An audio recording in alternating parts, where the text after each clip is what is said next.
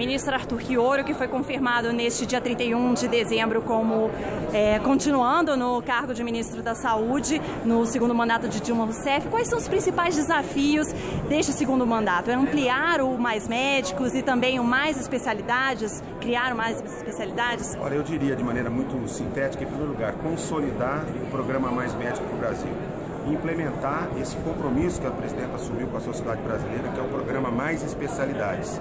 Investir muito pesadamente na prevenção e na promoção. Eu quero deixar um legado no Ministério, é, deixando de ser o ministro que cuida da doença para ser de fato o ministro que cuida da saúde.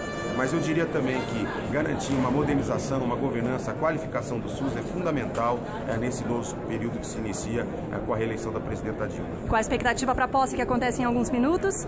Ah, é sempre um certo nervosismo. Eu fico imaginando um jogador de futebol na final de Copa do Mundo, que dá aquela friozinho na barriga. É um momento histórico e eu me sinto muito feliz como brasileiro de poder participar de alguma maneira desse momento tão importante do nosso país, da nossa democracia, que vai interferir tanto na vida de tantos brasileiros e brasileiras. Feliz 2015 para todos. Muito obrigada pela entrevista. O ministro que está aqui no Congresso Nacional aguardando a chegada da presidenta reeleita Dilma Rousseff e do vice-presidente Michel Temer. Essa posse que vai começar em mais alguns instantes. A TV NBR faz a transmissão ao vivo. NBR na posse presidencial.